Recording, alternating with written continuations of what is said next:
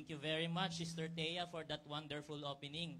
I'm sure na ready-ready na po tayong lahat para sa ating service ngayong hapon. Amen? Amen. To all our visitors po sa online, lahat po ng mission natin, churches, good afternoon, a blessed afternoon to everyone. And of course, all the members and all our visitors here, a blessed afternoon. Let's all stand please. Sabay-sabay po natin bigkasin ang Romans chapter 12 verse 1. Romans 12:1. Ready, begin.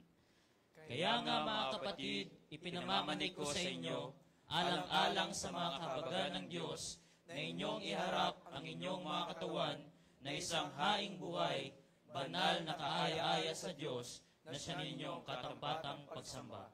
At para naman po sa pahayag ng puso sa pagsamba, sabay-sabay po tayo. Ready, begin. Sasambahin ko ang Diyos sa Espiritu at katotohanan. Sasambahin ko ang Diyos ng may malinis na puso at kalooban. Sasambahin ko ang Diyos sa pagpupuri at awitan.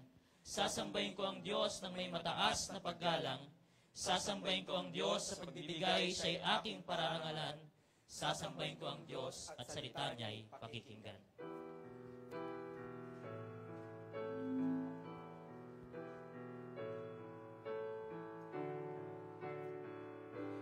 Pusong dalisay ang aking nais.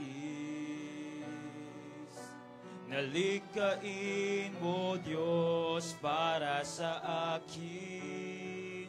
Pusong dalisay ang aking nais. Nalikain mo Diyos para sa akin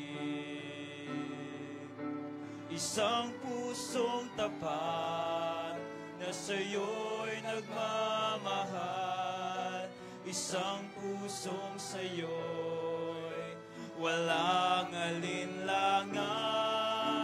Isang pusong itinitibok na ika'y parangalan.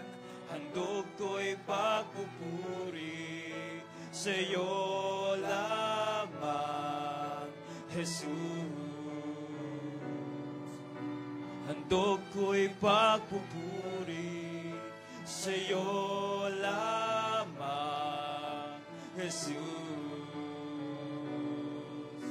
Handog ko'y pagpupuri sa'yo lamang, Jesus.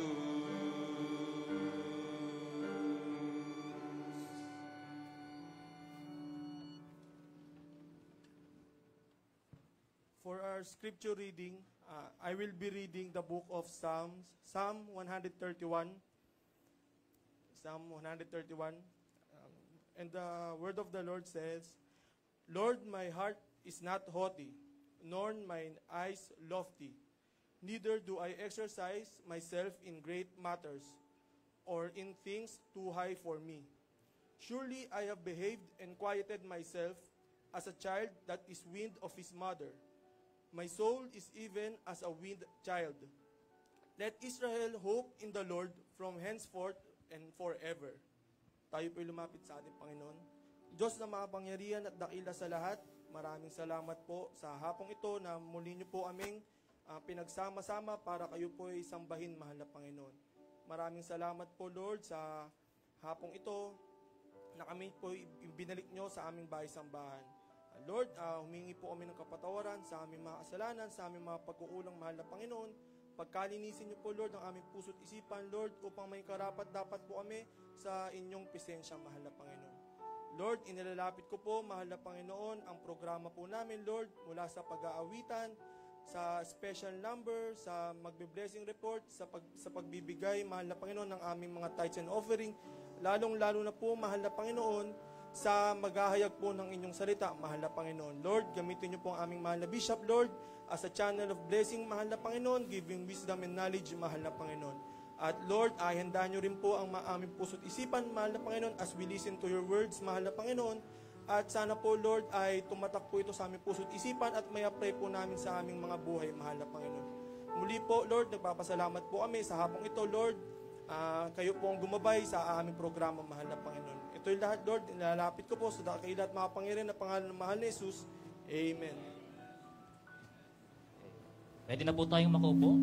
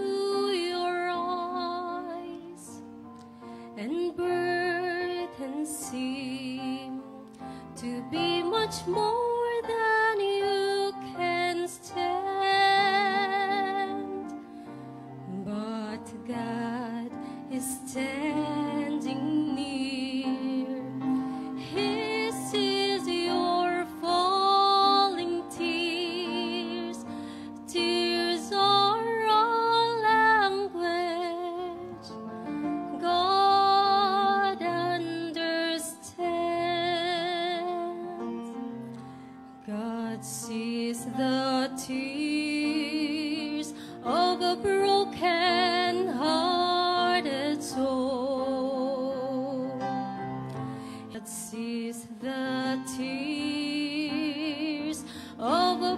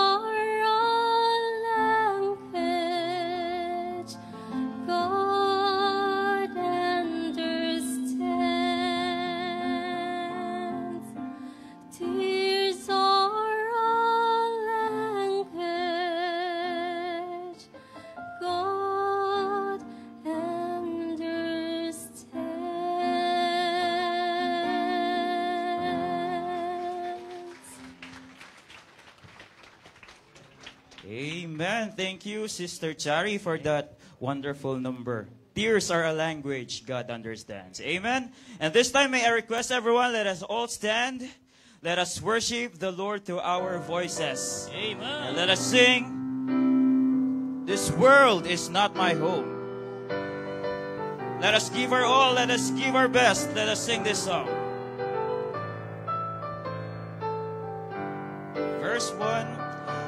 World is not my home, I'm just a passing through. My treasures are laid up somewhere beyond the blue. The angels beckon me from heaven's open door, and I can't feel at home in this world anymore. Oh Lord, you know I have no friend like you. If heaven's not my home, then Lord, what will I do? The angels beckon me from heaven's open door, and I can't feel at home in this world anymore. They're all expecting me, and that's one thing I know. My Savior pardoned me, and now I onward go. I know He'll take me through, though I am weak and poor, and I can't feel at home in this world anymore. Sing it loud, oh Lord, you know I have no friend like you. Heaven's not my home, then Lord, what will I do? The angels beckon me from heaven's open door, and I can't feel at home in this world anymore. Just up in glory land, we'll live eternally. The saints on every hand are shouting victory. Their songs of sweetest praise drift back from heaven's shore. And I can't feel at home in this world anymore. Oh Lord, you know I have no friend like you. If heaven's not my home, then Lord, what will I do? The angels beckon me from heaven's open door. And I can't feel at home in this world anymore. Praise God. It is great joy that one day we will all live in the mansions prepared for us. Amen. Amen. This time, let us sing when we all get to heaven. Amen. Verse 1. Sing the wondrous love of Jesus. Sing His mercy and His grace. In the mansions bright and blessed, He'll prepare for us a place when we all, when we all get to heaven. What a day of rejoicing that will be when we all see Jesus. We'll sing and shout the victory on the first day. While we walk the pilgrim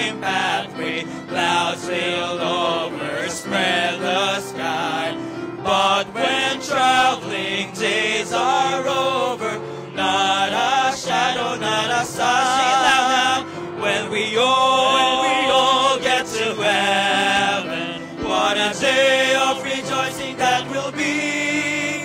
When we all see Jesus, we'll sing and shout the victory on the last verse. Let us then be true and faithful, trusting, serving every day. Just one glimpse of Him in glory will the source of life repay. When we all, when we all, when we all get to heaven, what a day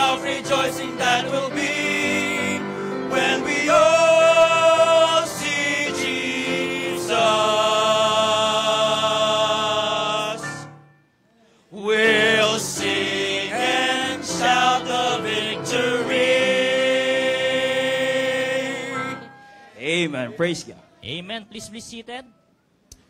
Thank you for that wonderful singing. And this time, we don't want to miss the opportunity no, para po i-recognize yung ating mga visitors. Amen?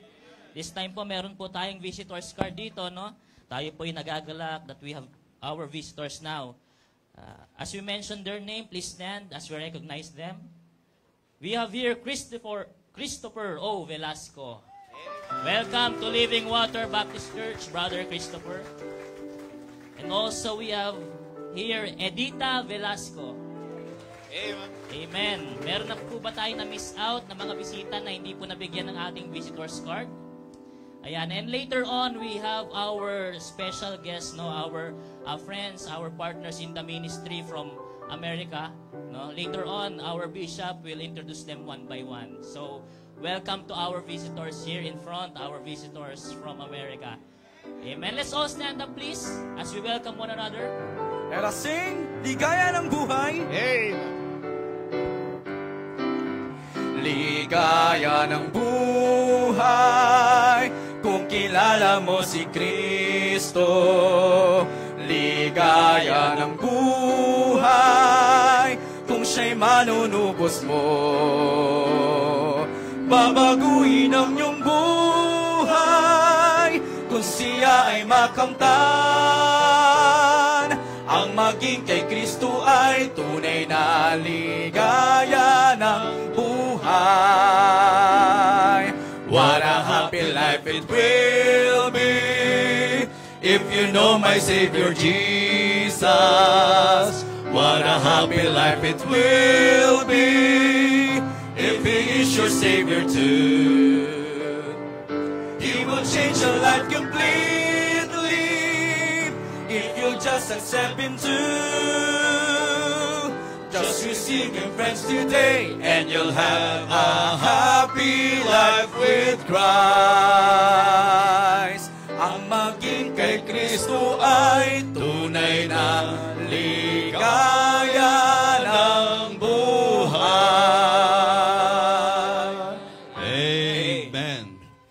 Please remain standing po para po sa ating pagkakaloob. Pero bago po tayo dumako po sa ating panalangin, ako po yung magbabasa po muna ng ilang pong talata.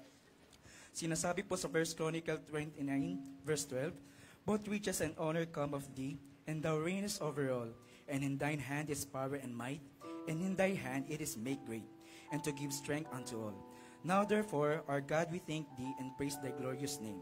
But who am I and what is my people, that we should be able to offer so willingly after this sort?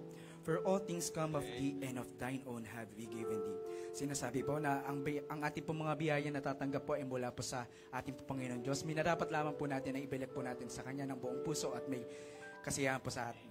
Tayo po manalangin.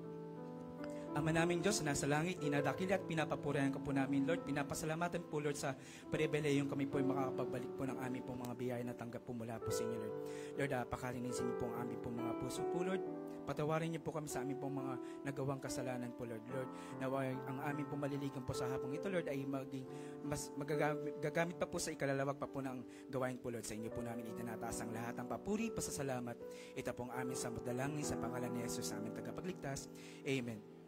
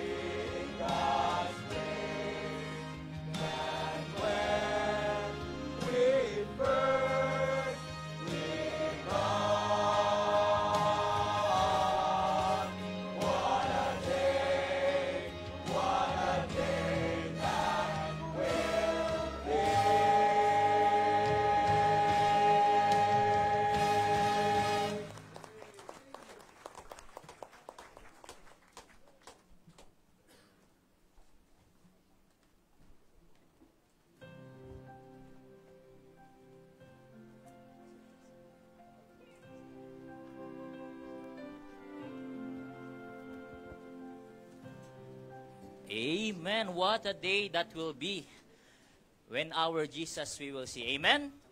Blessing po lahat ng awitin na yan. And this time, blessing po ulit yung mapapakinggan natin. Tawagin po natin ang magbe-blessing report.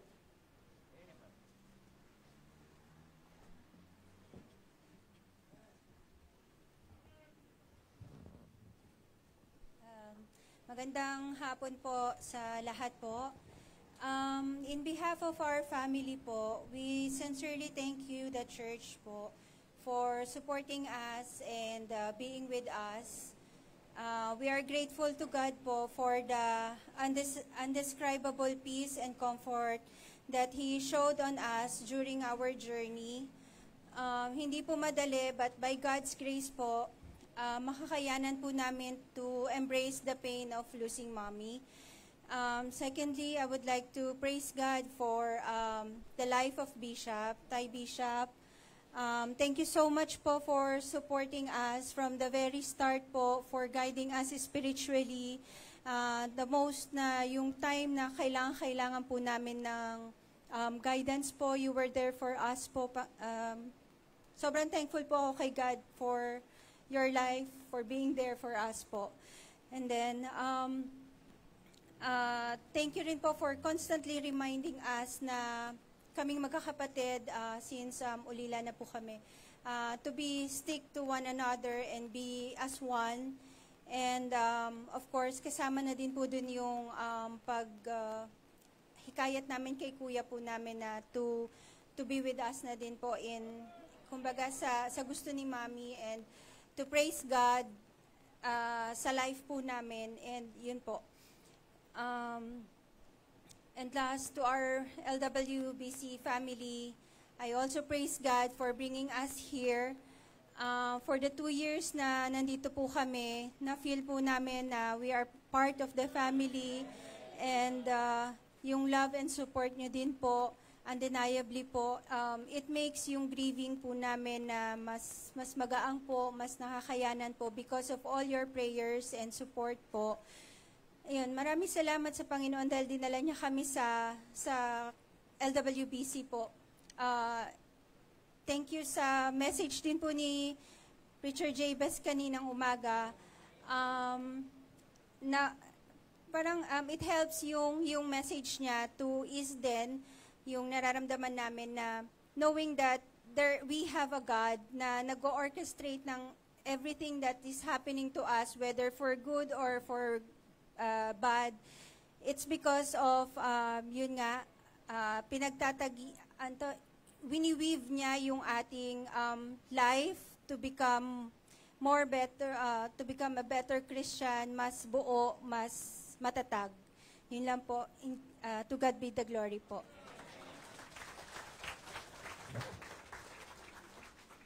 Thank you very much po sa blessing report na yan. Ano, salamat po sa buhay ni Nanay Belia na naging legacy po sa ating lahat. Yan. Okay, so thank you so much. Uh, we really miss Nanay Belia, but we know that she's already in heaven and she's very happy uh, now in heaven. So this afternoon, welcome to LWBC. Amen. So we are here today to worship the Lord, to praise the name of the Lord. And this afternoon, I would like to formally introduce to you our special guests, our special visitors. Okay, with us this afternoon, uh, they are actually two couples. So I would like to call uh, Brother Dave and Sister Lelaine Rosenbergs. I'm sure all of our regular viewers sa Feasting on the Divine Verses, familiar sa inyo yung Rosenbergs. Amen?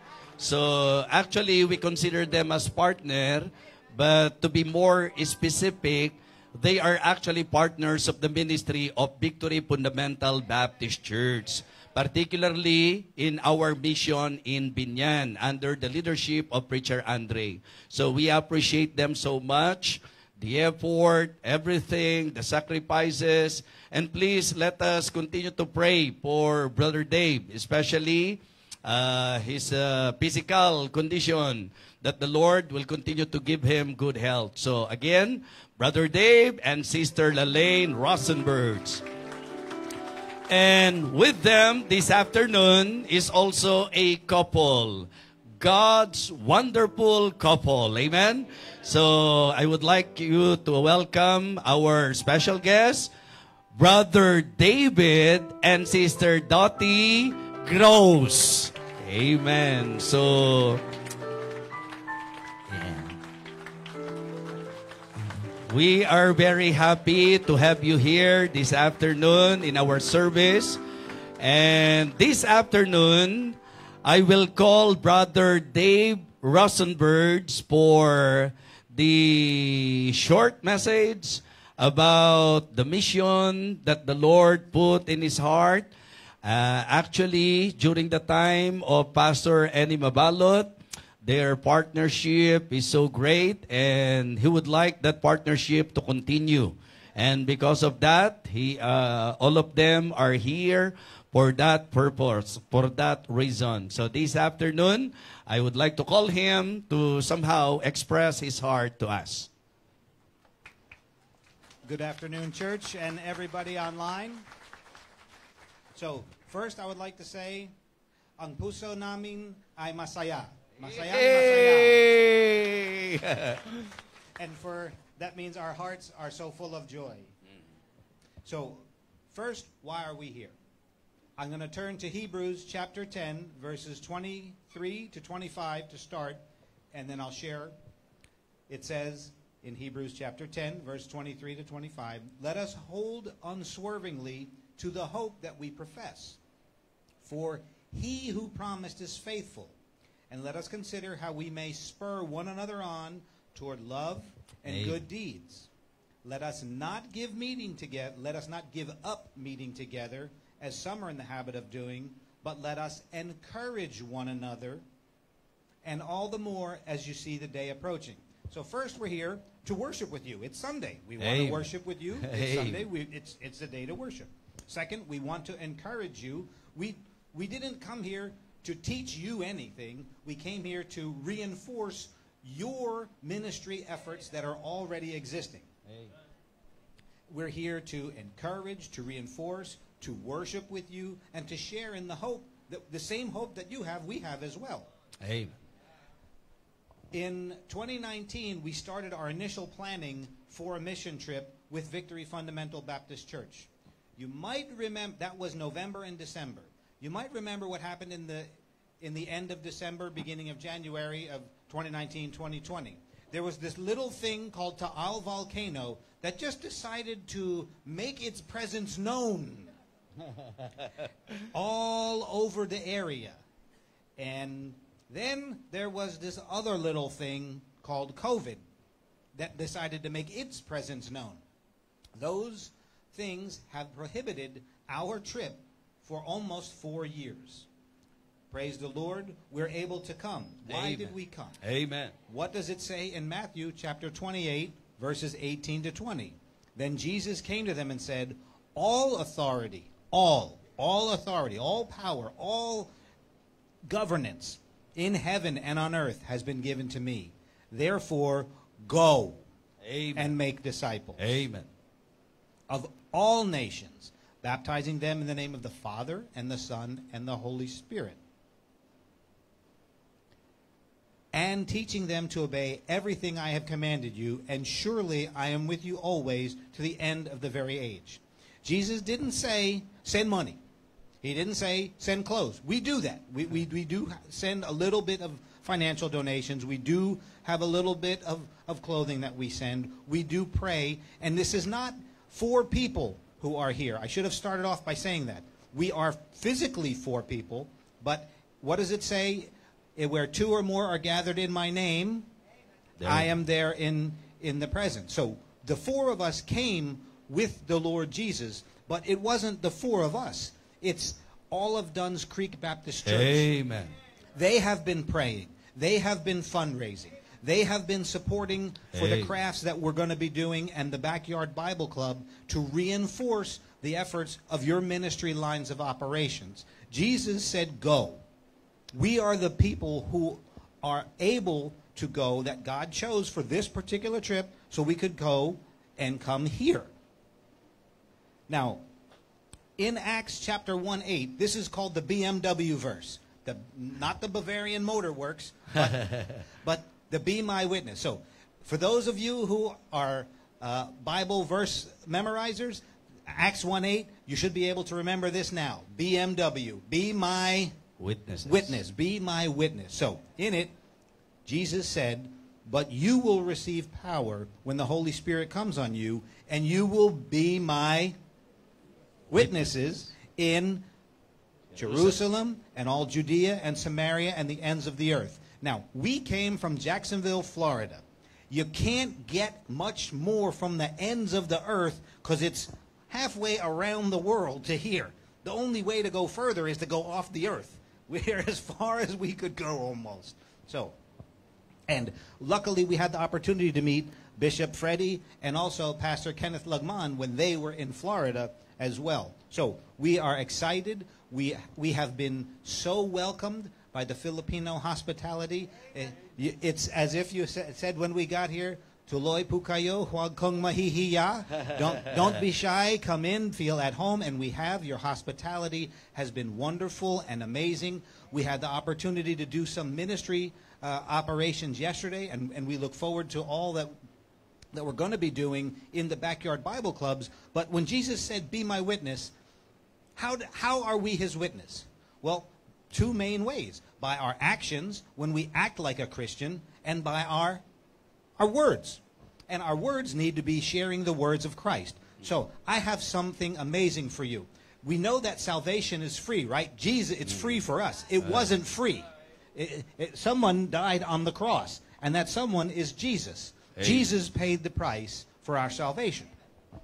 I have about a hundred cards here, and this is good not only in the Philippines but worldwide. This QR code will allow you to download the Gideon's Bible app. You don't have to use the QR code if you have access to the Google Store or to the Apple uh, Apple Store. You can get the Gideon Bible app for free. And here's some great news: it's in almost 2,000 languages.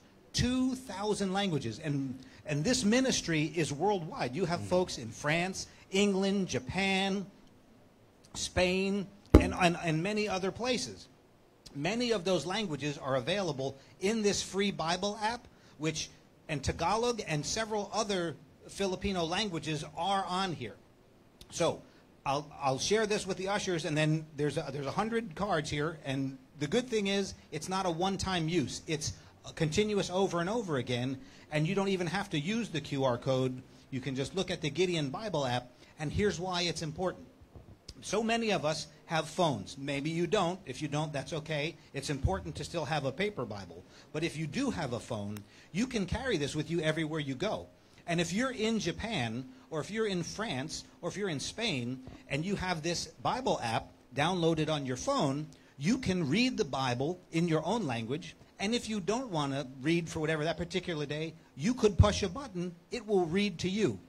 But even more important than that, it's in almost 2,000 other languages. So you might be able to minister to your friends if you're, if you're in a foreign nation, or to your friends who are online. Maybe you know folks who speak another language, and it doesn't have to be English. 2,000 languages that the Bible is on this free Bible app.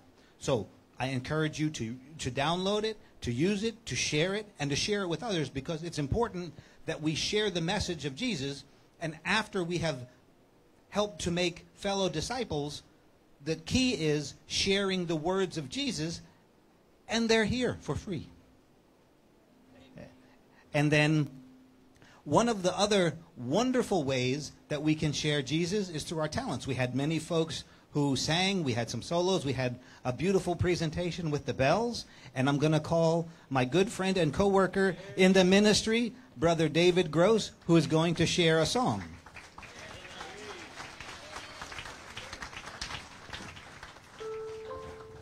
It's always a privilege to sing about the Lord, sing to the Lord, and sing the Lord's blessings. I'm glad to do that today.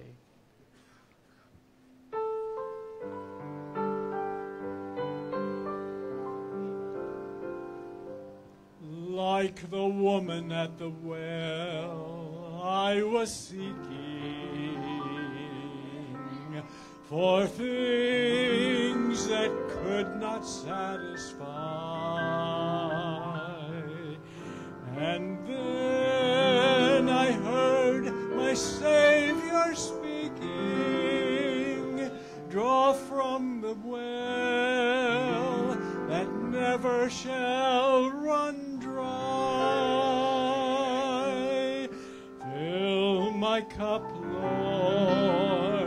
I lift it up, Lord. Come and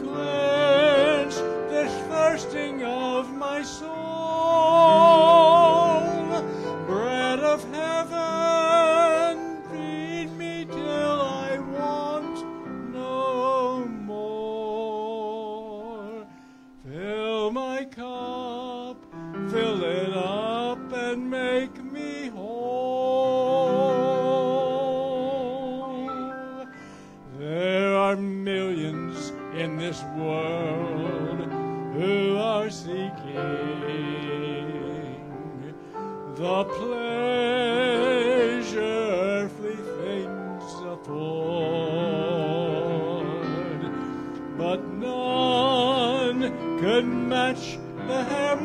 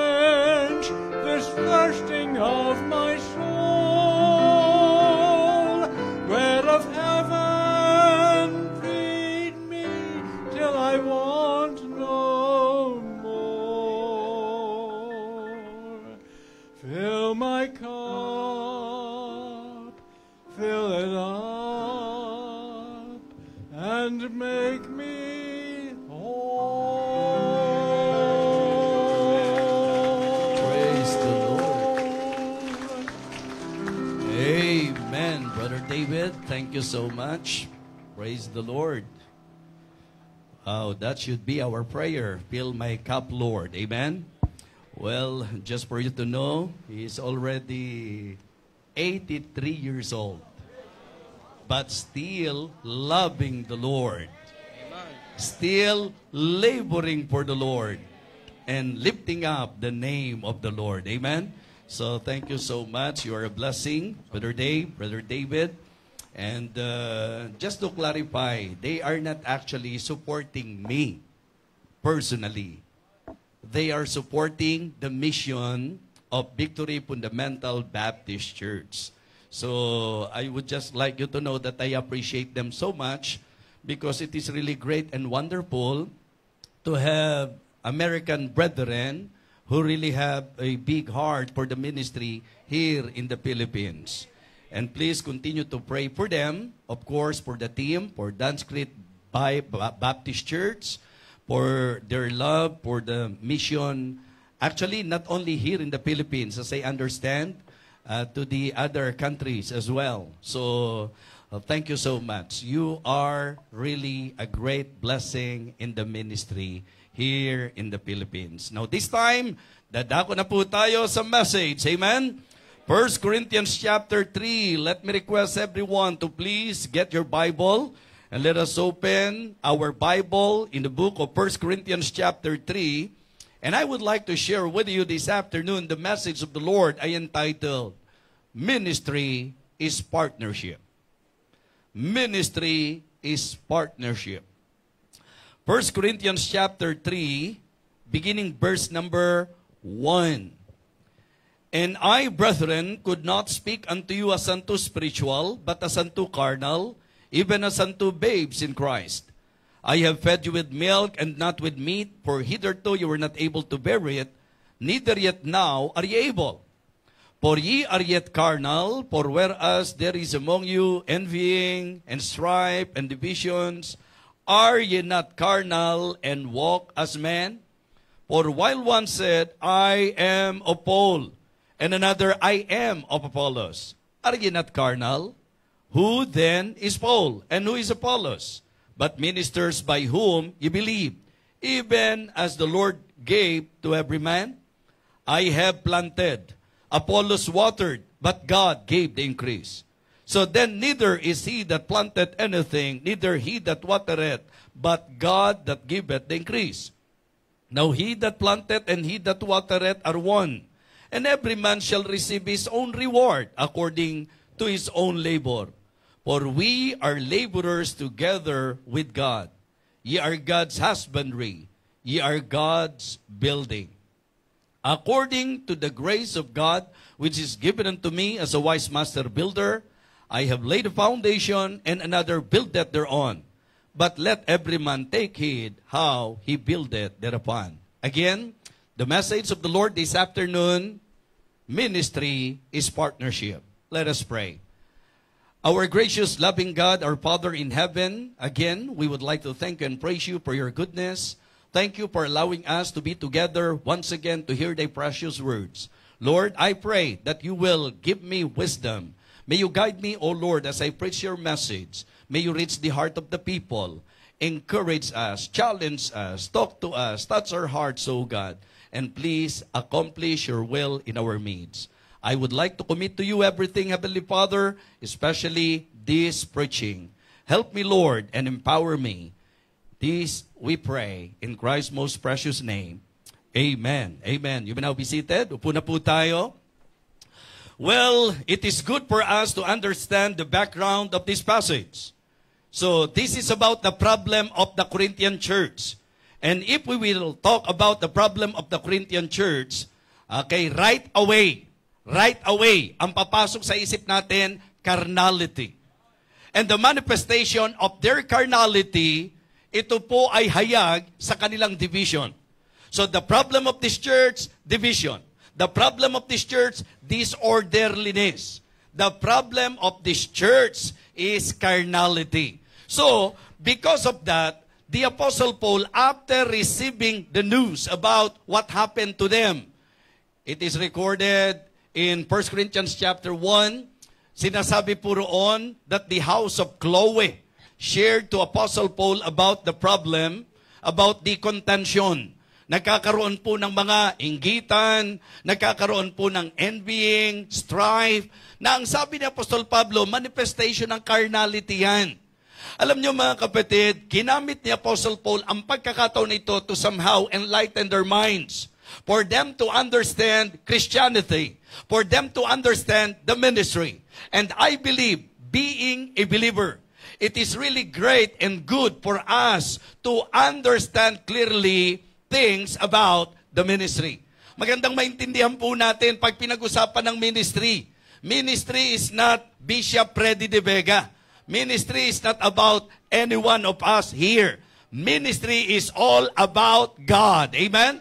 Ministry is all about God. So, when the Apostle Paul confronted them, when the Apostle Paul rebuked them, the message is very clear at ito ngayon ang reason why I would like to emphasize to you the importance of partnership, particularly sa usapan po ng ministry. So the Apostle Paul rebuked them and told them, Who then is Paul and who is Apollos? But ministers. Amen? Mga ministro kami ng Panginoon. Mga manggagawa kami ng Panginoon. Now, the concern of the Apostle Paul is very important and the same thing that I would like all of us to realize here na ang gawain po dito hindi mag-grow pagka divided po tayo. Hindi po mag-grow ang gawain ito. Kaya kahit saan ako pumunta, Ah, wherever I go, I am telling them that the reason why this ministry is growing, it is not because of the pastor. It is because of the teamwork. Amen? Of Living Water Baptist Church.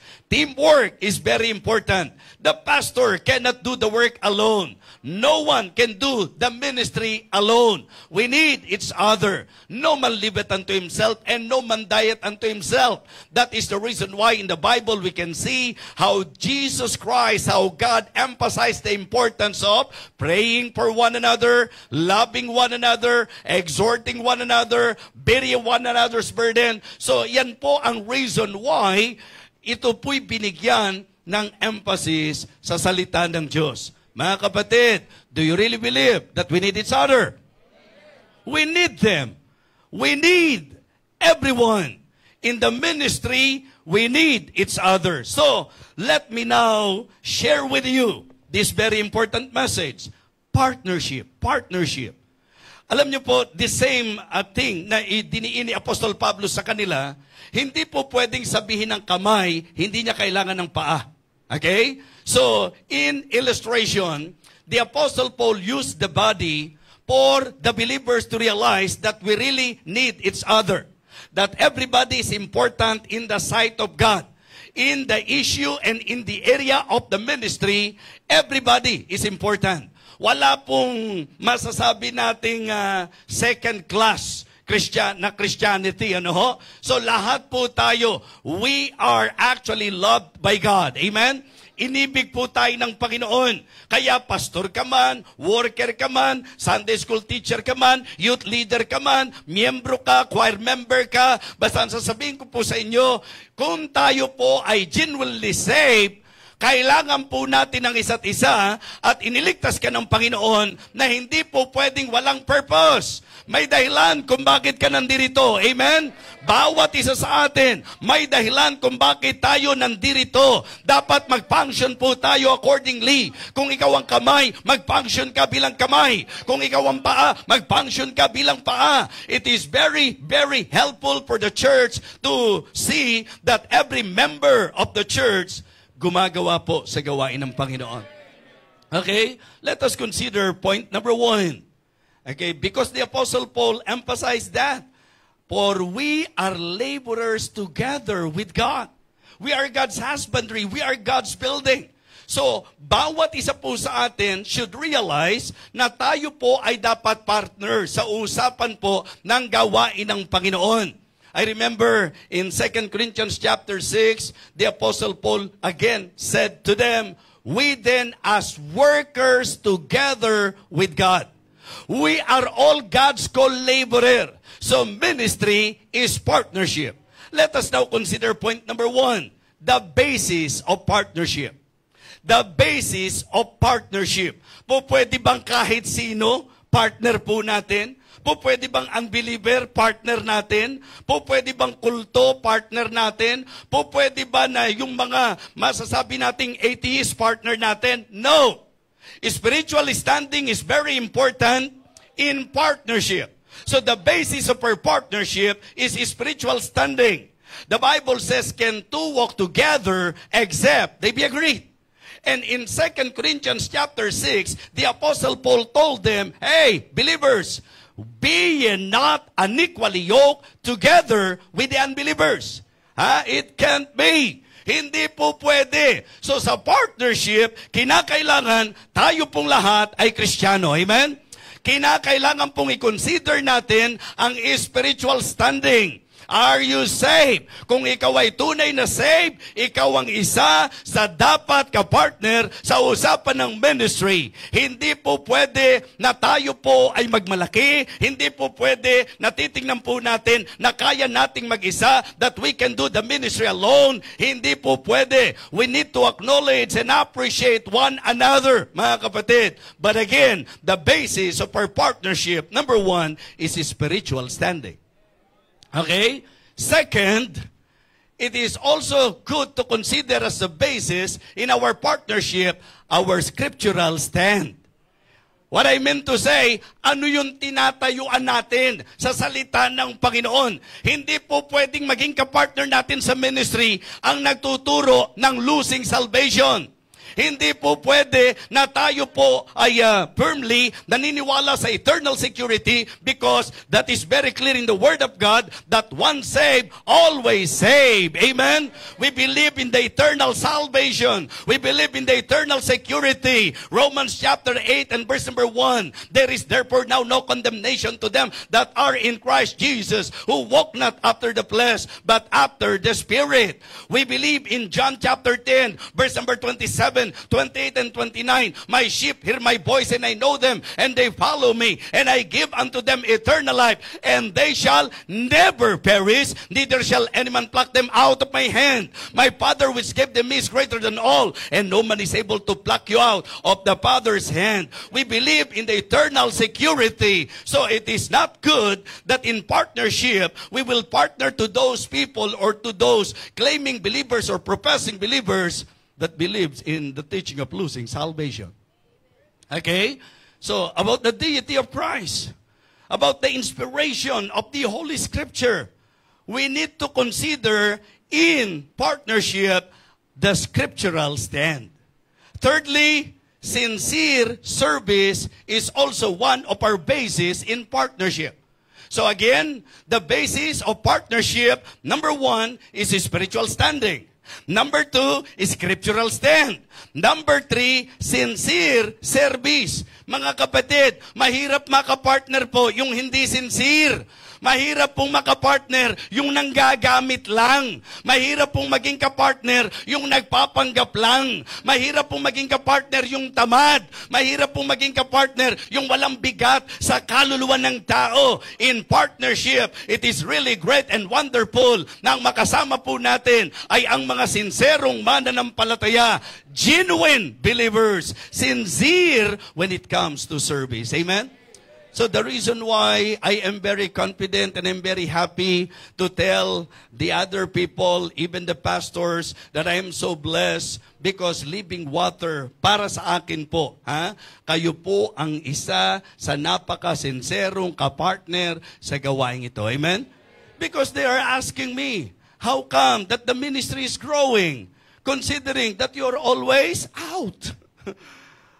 You're always preaching to different churches. Why? Because of the many partners here in this ministry. Amen. I praise the Lord for the pastoral staff. I praise the Lord for the preachers of this church. I praise the Lord and I thank God for all the leaders here in this church and for the members who are very supportive and submissive. Those members that are sincere in the ministry of the Lord. Amen. The basis of partnership. How about the barricades of partnership. When we say barricades like blockages, blunders of partnership. Ano po yung mga sagabal? Ano po yung hadlang?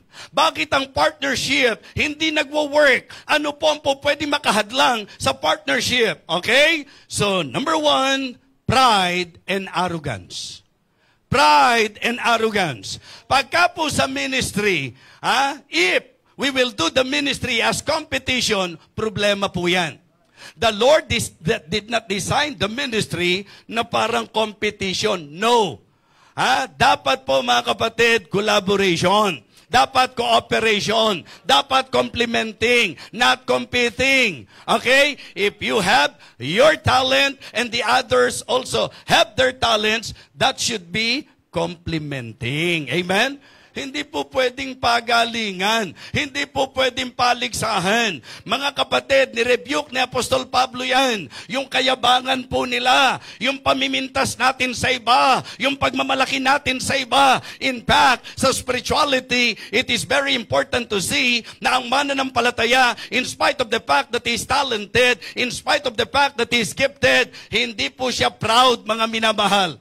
Ang isa sa manifestation ng spirituality, you will not think that you are better than others. Remember, when the Apostle Paul talked to the Philippi believers, he told them about that, na dapat yung spirit of unity, dapat nandun po yung lowliness of mind. Hindi po pwede na gagamitin ka ng Diyos if you are proud. God will not use the proud person. Why? Because according to His word, but God resisted the proud, but giveth grace unto the humble. So if you want God to use you in the ministry, be humble. When we say be humble, it means that you need to always acknowledge the grace of God in your life. That if not because of the grace of God, you are nothing, we are completely nothing. That is the good thing about the Apostle Paul.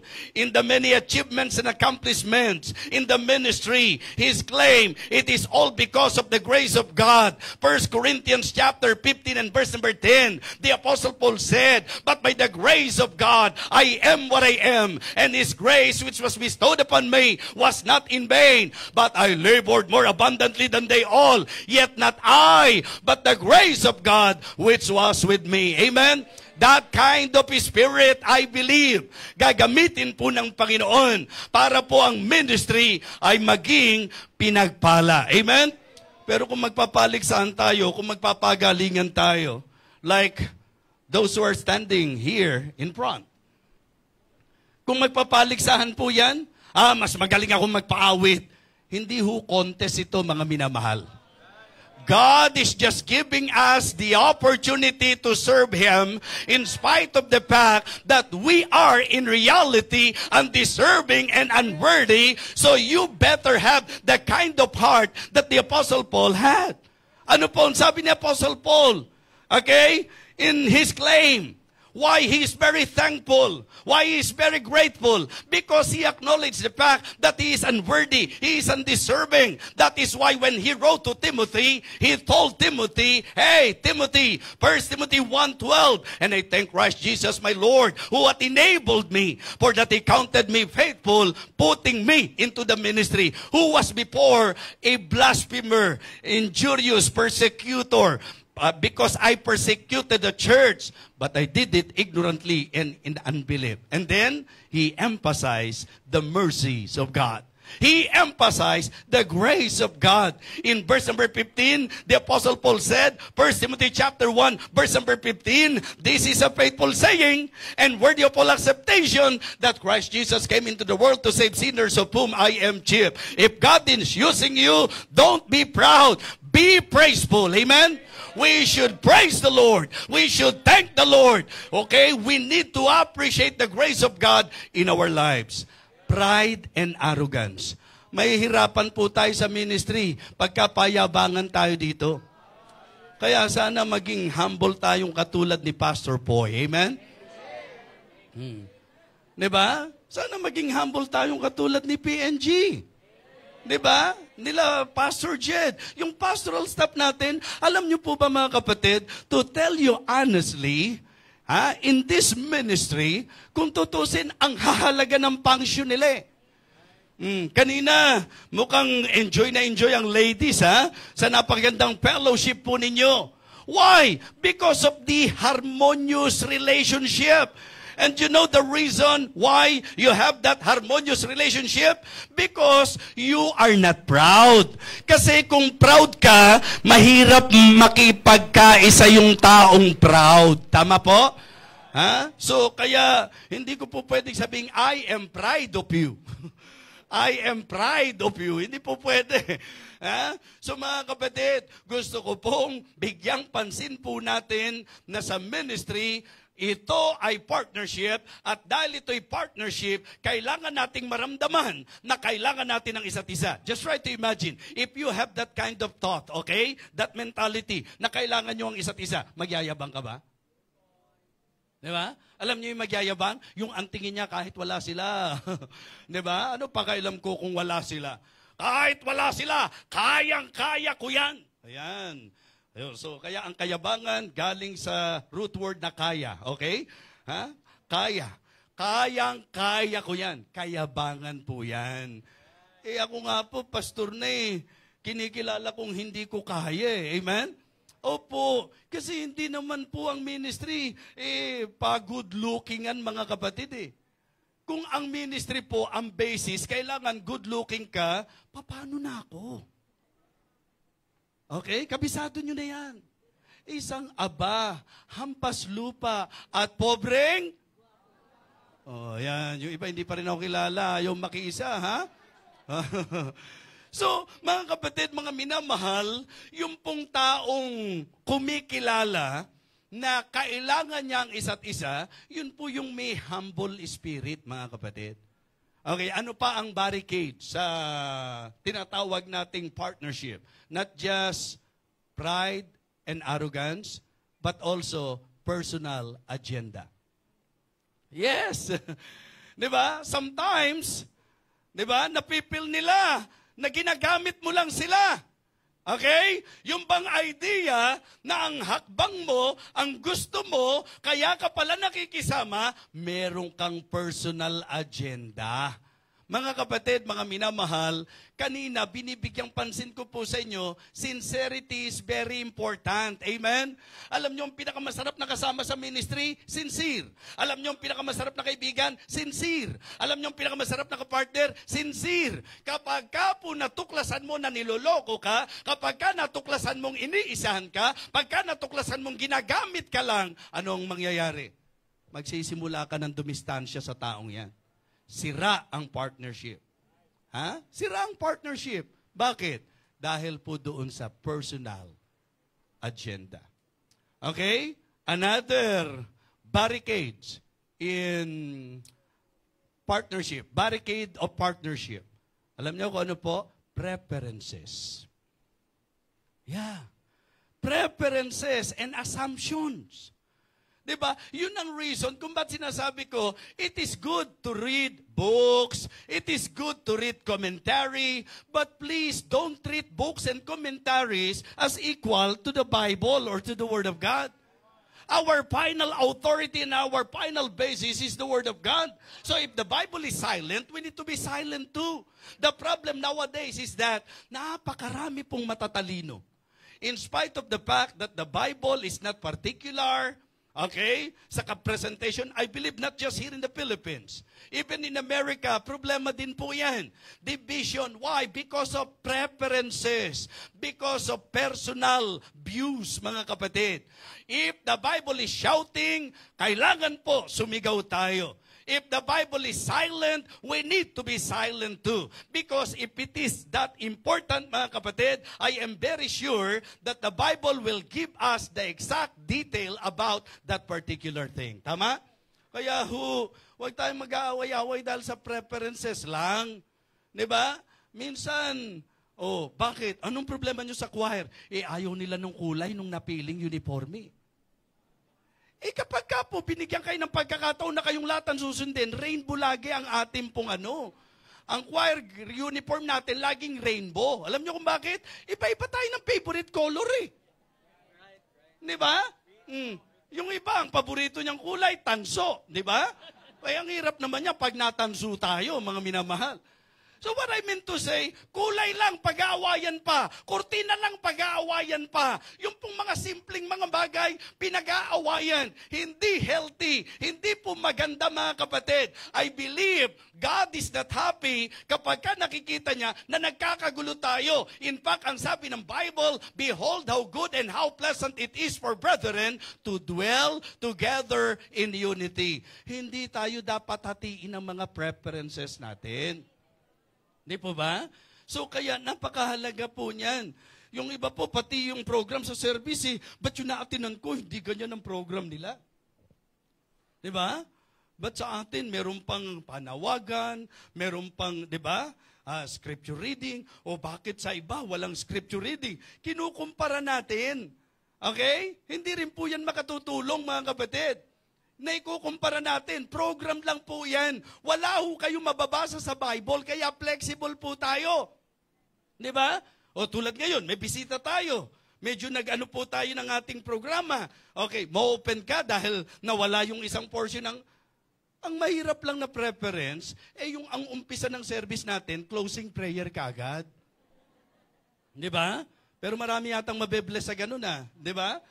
So, I believe mga kapatid, mukhang justifiable and valid na ma-open ka if the service will start in closing prayer. Imagine, the, di ba, simula ng service, opening prayer. So, mga kapatid, napakaganda po na makita natin yung mga hadlang. Di ba? Barricades of partnership. Okay? Let us consider point number three, the blessing of partnership. After reading 1 Corinthians chapter 3, I believe, makikita nyo po yung blessing. Di ba? The blessing of partnership. Number one, together we will reap. Amen? Together we will reap. Why? Because we are working as a team. Kumbaga, hindi po pwedeng magka-team tayo pagka nanalo yung isa, di ba? Hindi ka kasama. Team nga eh. Di ba? Kaya hindi masarap kasama yung buhaya sa basketball. Alam niyo po ba yung buhaya sa basketball? Di ba? Eh siguro sa, sa suot, maganda yan. Buhaya, lakos ang dating eh. Pero kung ang laro mo lakos, eh mga kapatid, medyo ah, maapektuhan po yung mga kakampi po natin. So, it is good to be reminded, folks, that in the ministry, particularly in partnership, together we will reap. So, we are actually serving God as a church. Di ba? Everything na gagawin natin. Yan nga ang dahilan kung bakit ayaw natin ng mga miyembrong pa-impress eh. Ayaw natin ng mga miyembrong pasikat sa iba eh. Hindi po maganda na miyembro ka ng church na ito, lumalabas ka. Hindi maganda na miyembro ka ng church na ito kung kani-kanino ka nakikipag-work together, mga kapatid. Kung ikaw ay miyembro ng church na ito, ito ang unang katim mo sa usapan ng gawain. Amen? So kaya yun ang papagtibayin po natin. We need to strengthen that in as church, mga kapatid. Once na tayo po ay mayroong pag-ani, sino ang dapat natutuwa? Lahat tayo. So together, we will reap. May nagtatanim, may nagdidilig. Ang Diyos ang nagbibigay ng kalaguan. And I would like every one of you to know that in partnership, together we will reap. Of course, together we will rejoice. Amen? Together, we will rejoice. Ibig sabihin, dahil ang spirit at ang mentality mo, team tayo, hindi po pwedeng hindi ka magiging masaya. That is the reason why the Apostle Paul uh, taught the believers na dapat ang attitude natin, rejoice with them that do rejoice. Di ba? It is good to have that kind of attitude. May blessing report, you should shout amen. You should appreciate the blessing of our brothers and sisters. Why? Because we are in a team, as one team in the Lord. Amen? So together we will reap. Together we will rejoice. And hey, together we will be rewarded. Amen? Together we will be rewarded. Alam niyo po, kaya si Nanay Belia, para sa akin, ang isa sa comfort, hindi lang po yung idea na nasa langit na siya ngayon. Because in spite of her age, nakita natin that she faithfully served God. Di ba? She dedicate her life to God. So yan po, si Nanay Belia. Kaya sa pamilya, yun ang sasabihin ko sa inyong comfort. One day, she will be resurrected. One day, reunion day. And one day, all of us believers will stand before the judgment seat of Christ. For what reason? For what purpose? We will all stand before God to give an account to God. And if you will remember the vision of John the Beloved in the island of Patmos, Okay, Revelation chapter 22 and verse number 12. And behold, in his vision, anong nakita niya? That our Lord Jesus Christ is coming with haste. And behold, I come quickly, and my reward is with me to give every man according as his work shall be. Mga kapatid, mga minamahal, it is good na honor ka sa klase. Congratulations sa lahat ng mga estudyante natin na talagang deserve nila yung honor sapagkat nag-aral po silang mabuti. That is not bad. That is actually good. Nakaka-proud po yan bilang miyembro ng church na ito. Nakikirejoice kami sa inyo. But let me tell you this, that when we, when we face God in the judgment seat of Christ, hindi yung honor mo sa school ang sentro doon. Ha? Hindi yung pagiging MVP mo sa basketball ang sentro doon. When we stand before God, ang issue doon, ano ang ginawa mo para sa Panginoon? You know, ang pinakamatamis na statement na maririnig natin when we face God, alam niyo ano? Well done, good and faithful servant. Enter thou into the joy of thy Lord. Anong sinesentrohan? Good and faithful servant. One day, all of us, we will surely stand before the judgment seat of Christ to give an account to God. Wow. The message of the choir special number, what a day that will be when my Jesus I shall see. Diba? One day, we will stand before the Lord. Ang tanong, pagharap mo sa Kanya, kamusta po tayo? Alam niyo po, like in partnership, like the M Foundation, what they are investing in the ministry here in the Philippines, supporting so many missionaries here in the Philippines, all over the country, that is actually an investment.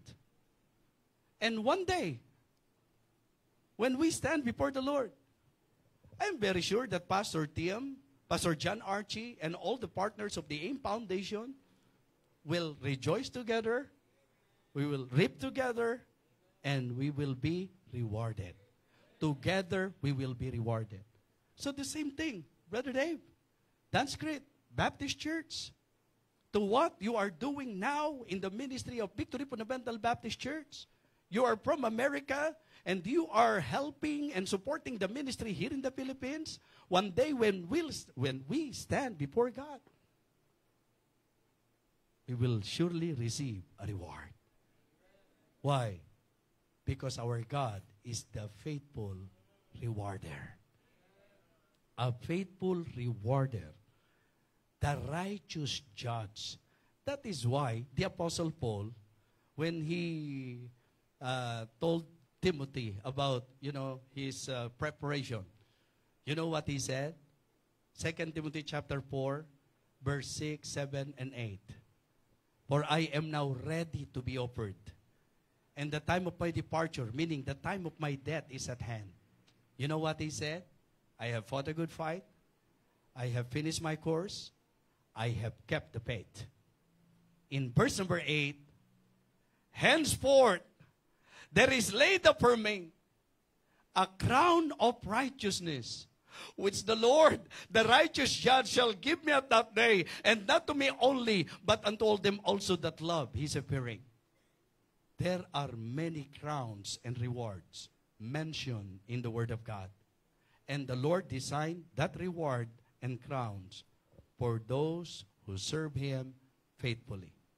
If you are a soul winner, may crown of rejoicing. Once na ikaw ay nagsuffer for the name of Christ, merong crown of life. Once na ikaw ay ready for the second coming, merong crown of righteousness. Once na ikaw ay talagang masasabi po nating nag-strive, merong incorruptible crown. At kapag ka ikaw ay pastor at tagapagturo, when you, being a pastor, serve God faithfully, there is that crown of glory. So one day, all of us will stand before the judgment seat of Christ. I am referring to all believers this afternoon. Ministry is partnership. So let us work together for God as a team. And we appreciate you. We appreciate the Creek Baptist Church. We appreciate the AIM Foundation helping the ministry here in the Philippines. Because in reality, we are one team for the Lord.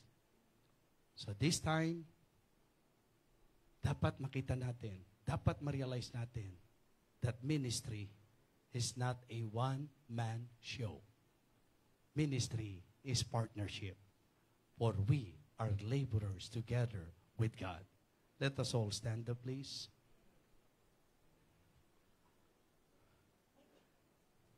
Yumuko tayong lahat at pumikit. Members of the church, I know that God has a purpose to emphasize this very important message.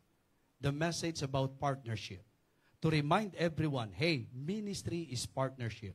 The question now is that, are you willing? Are you willing na ikaw ay maging kapartner sa usapan ng ministeryo? Willing ka ba na makipagkaisa? Na pag-aralan po natin the basis of partnership, the barricades of partnership, and the blessings of partnership. If the Lord touch your heart, if the Lord talk to you, if the Holy Spirit is convicting you, can you leave your place? Can you go to the altar? Can you pray and tell God, Lord, thank you for rebuking me this afternoon. Thank you for reminding me through this message.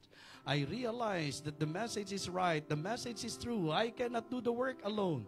Our pastor cannot do the work alone. We need partnership.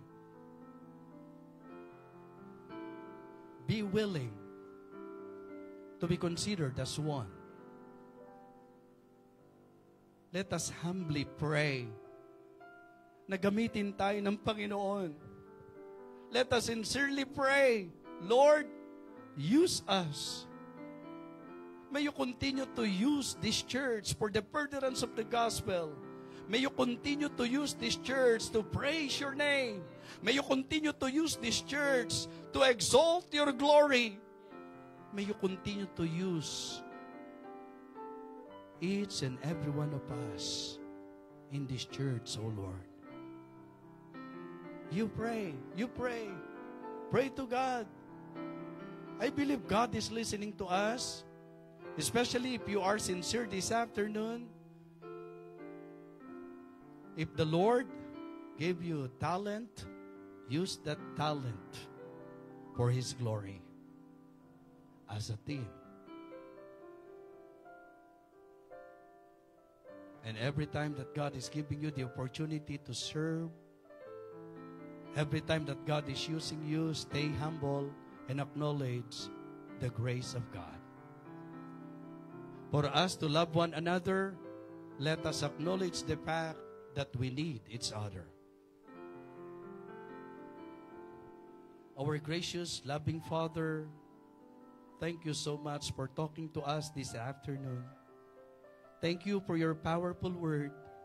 Thank you for this very important reminder. Lord, thank you even for the realization. We are here, Lord, humbling ourselves before you. Lord, please use us for your glory. Lord, use us as an instrument of your blessing. Use us together for the furtherance of the gospel to reach and win more souls, Heavenly Father. Thank you so much for the blessing of partnership. Lord, thank you for everything. May you continue to bless this ministry, O Lord. May you continue to bless our church, O God. Help me, Lord, that I may encourage everyone to serve together, to pray together, to work together for your glory and for your honor and the further for the furtherance of your kingdom, Heavenly Father. Lord, please continue to work in the heart of the individual. Continue to operate in our lives, O God. Again, we thank you and praise you for everything. We bring back all the glory, honor, and praises to you and to you alone. Please listen to our prayer, O God. For all of these things we ask in Christ's most precious name. Amen. Amen. Praise the Lord. Are you blessed today? Praise the Lord. And let me take this opportunity to thank you all for being a good partner in the ministry. God knows that you are very much appreciated.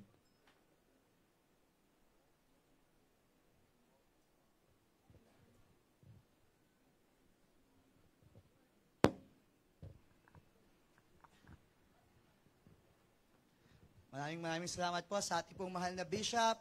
And this time po, tayo naman po ay ating pong isi-celebrate ang kaarawan po, of course, in advance ng ating pong mahal na mahal na asawa po natin pong mahal na bishop, Ma'am Mariza De Vega. Ayan po. Later on, um, we will give this to our ushers and then later on, you can get your copy uh, dun sa mga ushers po natin. Thank you very much, Brother Dave. So, ilagay ko po muna dito. Okay, this time, uh, at atin pong isa-celebrate ang birthday po na ating pong Ma'am Maris. Alam po natin, mahal na mahal po natin ang ating pong Ma'am Maris, lalo na siya po ay isang very effective partner po ng ating pong mahal na bishop sa ministeryo. And we couldn't ask for more, Ma'am, Mar- ah, Maris, no, sa iyong pag-aalaga po sa aming pong mahal na bishop. Kaya naman, pwede po ba nating matawagan po? Alam ko po, ang ating pong Ma'am Maris, very low profile po yan eh. Nahihiya po siya sa ganito. Pero Ma'am Maris, hindi niyo po kami pipigilan dahil mahal na mahal po namin kayo. Okay po kaya, pwede po ba patulong po, Ma'am Maris? And Bishop, samahan niyo na po siguro si Ma'am Maris. Ayan. Okay, uh, from the heart of our church, Living Water Baptist Church, and of course, our dear Bishop Freddy De Vega, ating pong awitan ng ating Ma'am Maris ng Blessed Birthday sa July 4 po ang eksaktong birthday po ng ating pong Ma'am Maris, pero hindi ba patalo ang church? Gusto natin ngayon mismo i-celebrate po natin, no? Gawin muna natin July 4, ang araw po na ito. Awitan po natin ng masaya, ng blessed birthday po ang ating pong Ma'am Maris. Ayan, may bouquet pa si Bishop, okay? Everybody, let's sing Blessed Birthday! Blessed birthday to you. Blessed birthday to you. Blessed birthday, God loves you. Blessed birthday to you. One more time. Blessed birthday to you. Blessed birthday to you. Blessed birthday, we love you. Blessed birthday to you. And of course, meron din po yatang um, bouquet galing po sa church workers. Ayan, and then we also have, yeah, yung cake po na galing din po sa Ladies Fellowship. I think meron din silang something for Ma'am Maris. If I'm not mistaken, ayan, meron din pong bouquet from the Ladies Fellowship. Ayan, Ma'am Maris, pamingin lang po kayo ng bouquet na gusto nyo po. ayan. Opo, tatayo po kayo dyan. Okay, may corona. oh, in advance na po namin yung crown niyo po, Ma'am Maris. No? Ayan.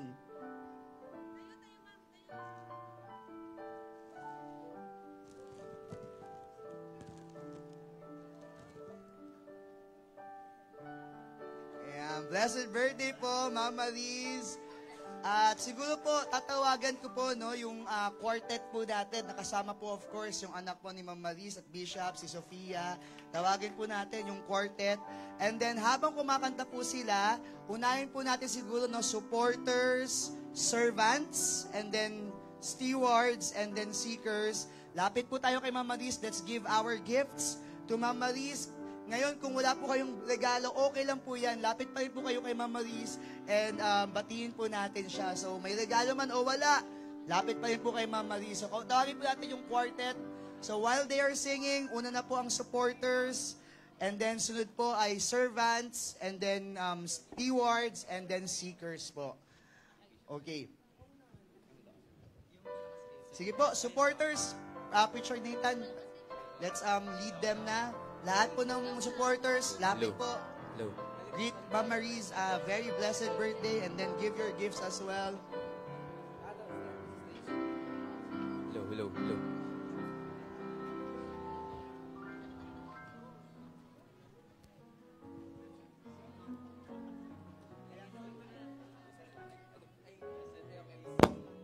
Low, low.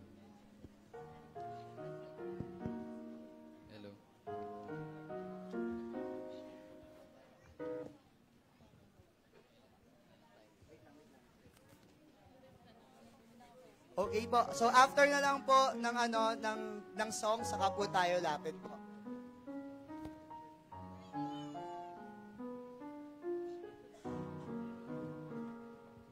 We're an anchor for those who No, I am not ashamed of the gospel of Jesus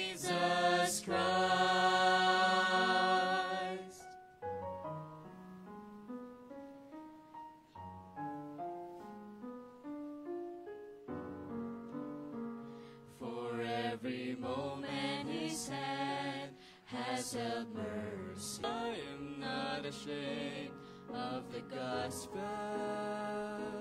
No, I am not ashamed of the gospel of Jesus Christ. I've got too much behind me to let this world bind me to some is a name, but to me not ashamed of the gospel. No, I am not ashamed of the gospel of Jesus Christ.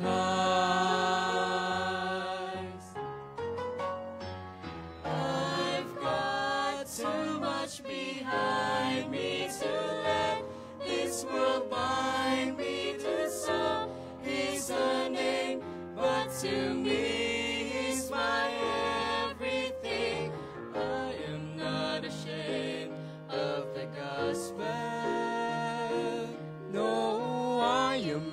not ashamed of the gospel. No, I am not ashamed of the gospel of Jesus Christ.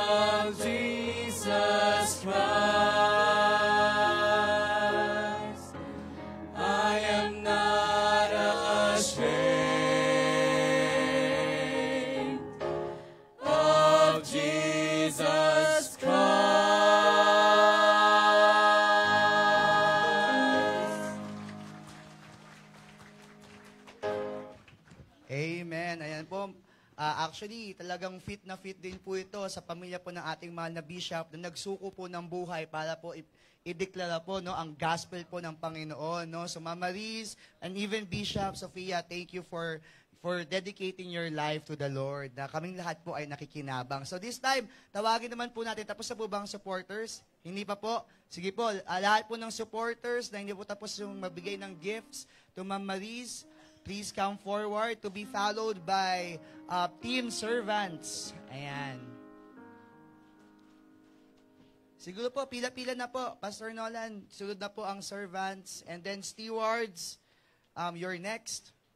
Tuloy-tuloy na po.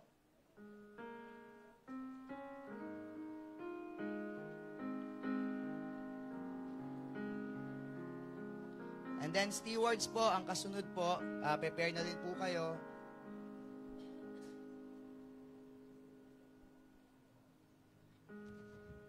Ayan. Deacon John, please, yung stewards naman po. And then Pastor Orson, sunod na po natin yung uh, seekers.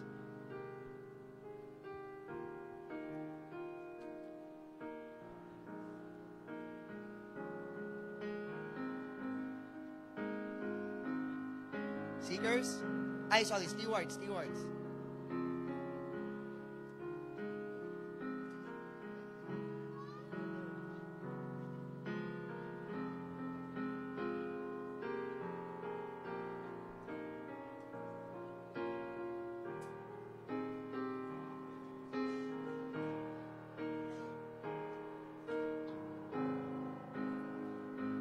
Let's call on po stewards and then seekers. Sabay na rin po kayo.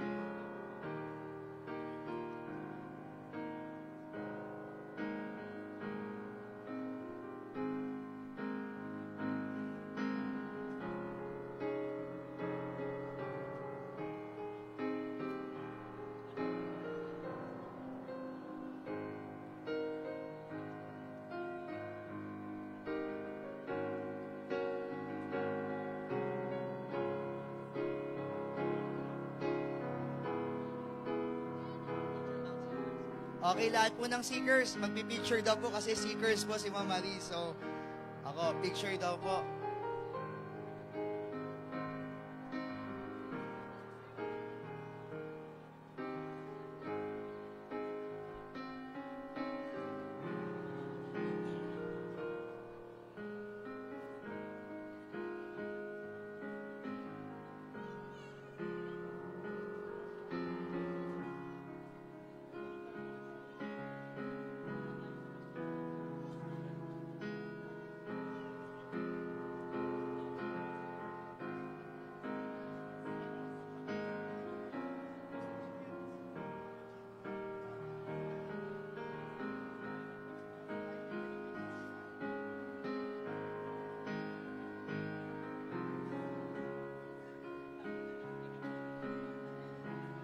Okay, after this po, siguro isa-isang per group na rin po, no? Ang next po dyan, lahat naman po ng supporters with Ma'am Maris para, ano, fair, no? Sa bawat grupo po.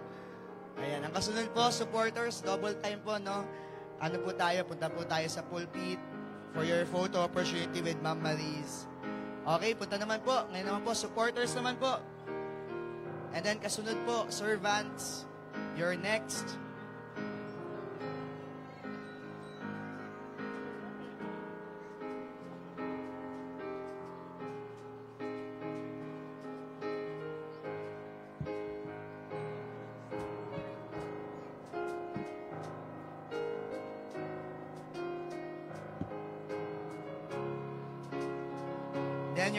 Up servants. Okay, smile.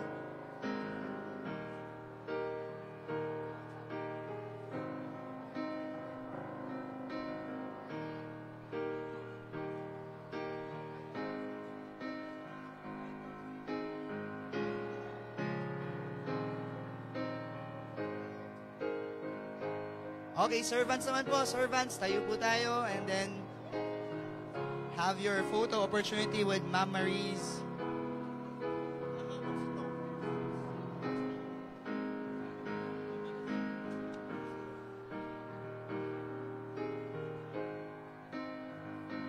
And then up next, keywords.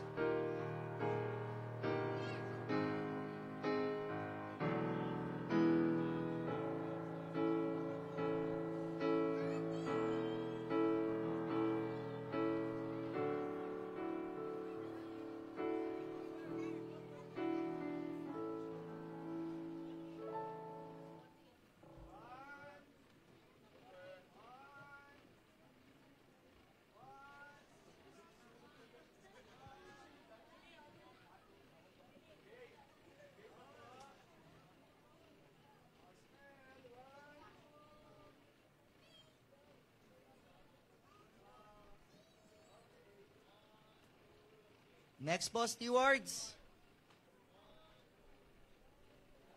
Thank you, servants. Now, let's go to stewards.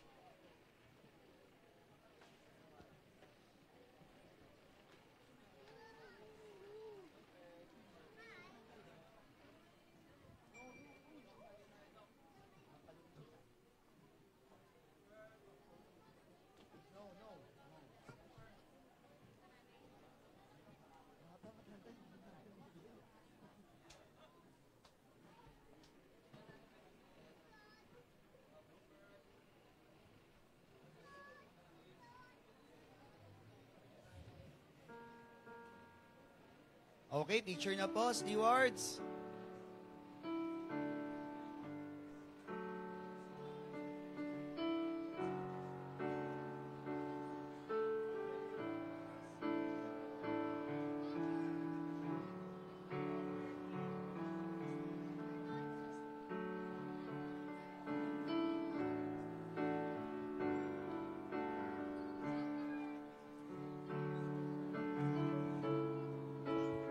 With our American guests, please, and Bishop.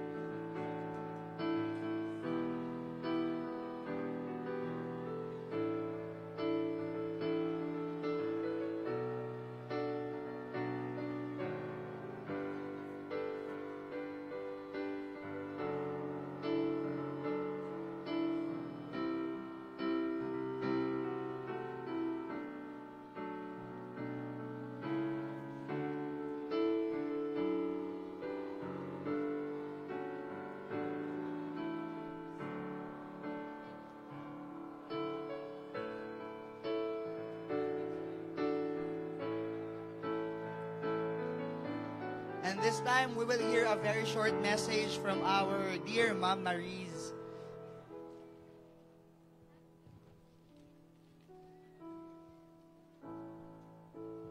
Ah, magandang hapon po sa inyong lahat.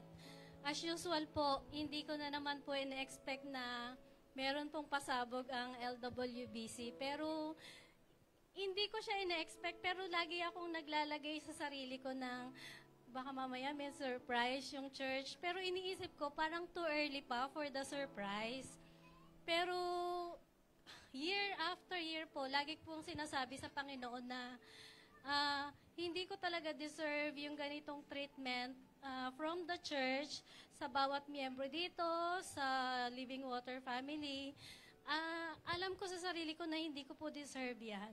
Pero salamat sa Panginoon dahil kahit na hindi ako deserving sa sa ganitong treatment, patuloy niyang binubuhos yung ganitong klaseng treatment na talagang ah, in spite of pagiging mahiyain ko, nahihiya ako sa Panginoon kasi alam kong hindi talaga ako deserve. Pero patuloy niyang ibinibigay, patuloy niyang ibinubuhos, patuloy niyang pinapadama sa akin yung lahat ng blessing, lahat ng, ah, ng biyaya na binibigay niya po. Hindi lang po sa aming family, kundi ah, personally po para sa akin. At church, totoo po yung sasabihin ko na ah, mahal na mahal ko po kayo kahit na hindi ko po siya napapadama. Alam ko, hindi ko kayang ipadama sa inyo. Ah, dahil siguro sa personality ko na nahihiya akong magpadama ng concern, ng love. Pero ah, alam po ng Panginoon kung gaano ko po kayo kamahal. Ah, kahit natahimik lang po ako lagi sa likod, lahat po ng galaw nyo, lahat ng galaw ng mga anak nyo, alam ko po at ah, lagi ko po kayo sinasama sa prayer. Ah, hindi ko alam kung paano ko i-express yung pasasalamat ko ah, sa inyong lahat. Pero alam ng Panginoon na ganon yung laki ng pasasalamat meron ako para sa bawat isa. Yun lang pong ah, i-treat nyo, i-respect nyo, igalang nyo, i-love nyo si Bishop. Enough na po sa akin yon na, na makita at madama. Pero yung love na pinapakita niyo po sa akin, especially sa mga ganitong okasyon, ah, sobrang sapat-sapat yon at lagi ko pong ite-treasure yon. Ngayon, habang ako'y nabubuhay, ah, hindi ko alam kung paano ko ipapadamis, papadama sa inyo, pero God knows, mahal ko po kayo. Sana po patuloy po nating ipagpatuloy yung love na meron po tayo sa isa't isa kasi yun yung nagpapatibay na talagang talagang alagad tayo ng Panginoon. Maraming salamat po at salamat din po sa ganitong presentation, ganitong preparation para sa akin. I love you all po. God bless po. Maraming maraming salamat po sa ating pong Ma'am. At wag po kayo uuwi dahil nag-prepare po ang bawat isa po ng pagkain po. So may pagkain po. Siyempre walang, pangat naman po may birthday, pero walang handaan. So may handaan po tayo. No? Sige po, tayo po tayong lahat.